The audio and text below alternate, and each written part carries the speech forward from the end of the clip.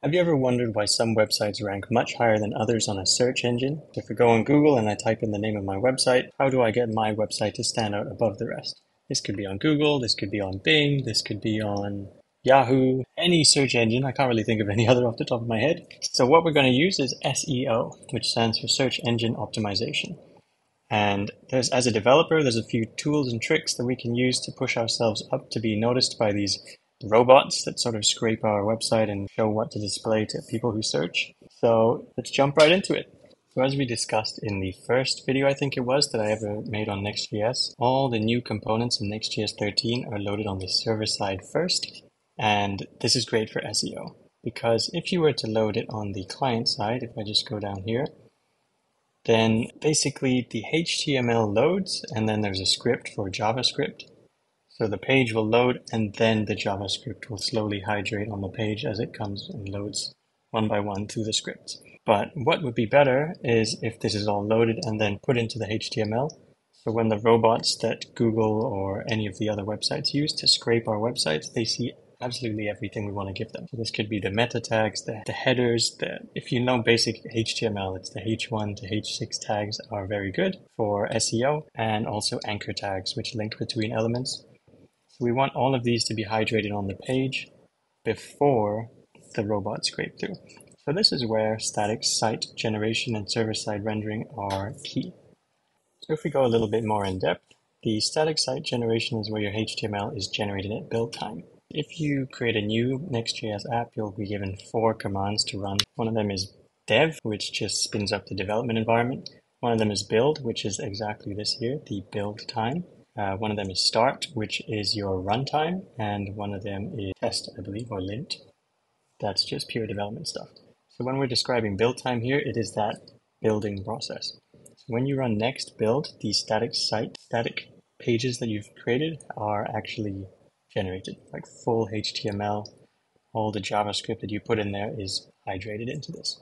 So As you can see here, it says static site generation is probably the best type of rendering strategy for SEO as not only do you have all the HTML because it's pre-rendered, but it also helps with page performance.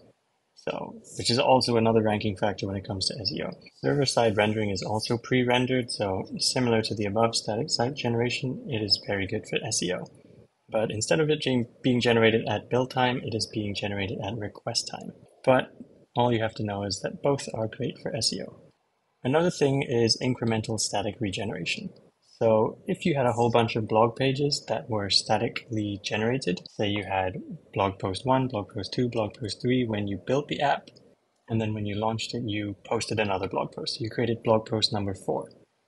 Incremental static regeneration basically puts a timer on your website that says, say, every 60 seconds or every two minutes, one hour, whatever it is, revalidate, sort of update the static pages that we built before.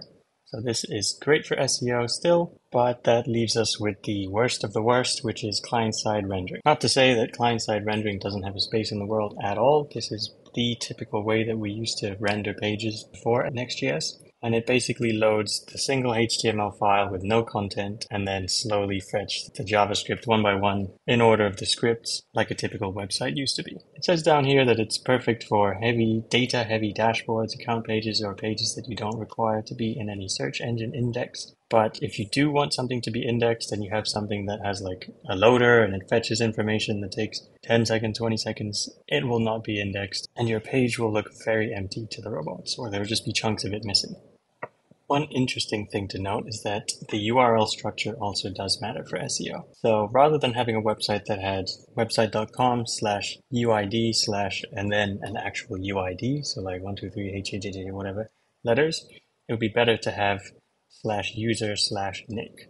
So using some sort of username instead of a UID in the actual URL would be a lot better for SEO. And the example they used here is slash learn slash basic slash create Next.js app is better than learn course one, lesson one. So rather than just using numbered or some sort of ID, it's better to give these slugs an actual name.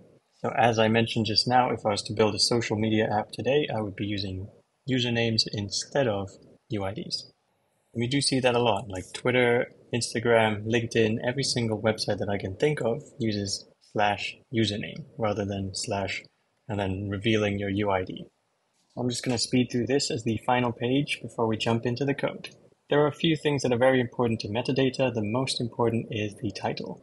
And what this is, is up here, if you look at the tab, this is metadata, rendering and ranking, learn Next.js. So all of that will be inside the title. I'll show you how it works in code in a bit. Um, the second most important is the description. If I was to go on Google right now and search my page, it would say the title and then the description underneath it. There's another thing called Open Graph Protocol, which basically a standard that was created by Facebook. You don't have to know too much about it. All you know is just throw some things at it and you'll be good to go. I'll show you how to write it in the code in a bit. Just basically a bunch of tags you need to include in your website for optimum SEO.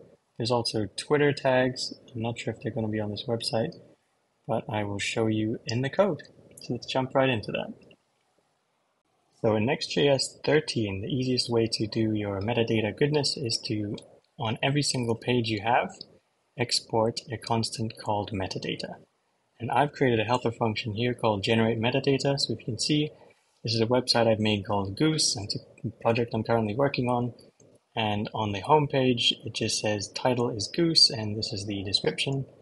On the contact page, it's Goose uh, line contact, and under the about page, Goose line about. And if we go into the generate metadata, there's a whole bunch of stuff here. These are the two parameters I'm passing in, the title and the description.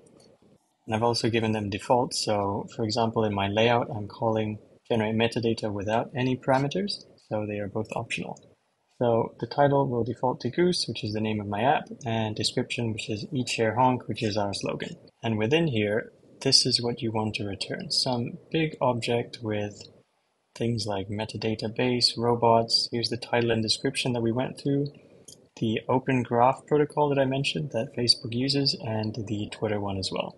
So without going into too much detail, basically the robots will just scrape and look for certain things like titles, um, descriptions and even the URL images that you can pass in. So I've just put in our logo and this little tag here will basically tell robots they can read this page. The metadata base is something that is required by Next.js as well. It's just basically your URL for metadata. So I'm passing in the actual website.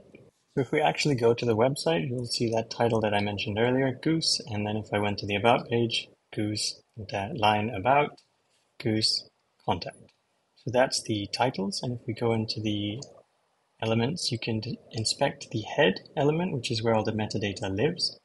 You'll see the title tag, you'll see the description tag, and a whole bunch of other things. Like all these are the open graph tags that I mentioned earlier, the Facebook ones, and all the Twitter tags. And also this tag here that allows the robots to read your page. If I go between the pages, you should see these changing. Now we're on a goose, the about changes, same with the home page, the descriptions and titles change. And just to wrap things up, we have something called robots.ts that is in the root of your app. And this is basically the instructions for good robots. There are good and bad robots. Bad robots will just read your page no matter what and scrape your data. But the good robots will read this file first and then say, can I read these pages? And right now, by putting allow slash, I'm just allowing them to read the entire website. We could disallow certain pages, like if there's a private one, if there was a admin page or something, you wouldn't want the robots to read through that. And optionally, you can pass an entire sitemap object, which is basically all the URLs generated on your page. You don't really need to do this unless your app is massive, which mine currently isn't, which is why I have this commented out. Um, but if your app grows to hundreds of pages, I recommend looking into a sitemap. All right, I'm going to wrap things up there. I hope you learned a lot about SEO, at least the basics of it. I know there's tons of information out there, but as a developer, the minimum things you should do are at least put your title, your description, your open graph protocol, get that stuff out of the way, disallow robots, allow robots, whatnot. I'm going to put a helper function that I used in the code that I'm using on my app Goose in the description below. So feel free to just copy that and you should be good to go for at least your basic SEO needs. As usual, hit that like button if you want. Um, please keep commenting like this. It really helps me decide what I'm going to work on next. So as you can see here, I'm going to work on layouts. and then I'm going to check out images next. Who knows what's next after that? Comment down below.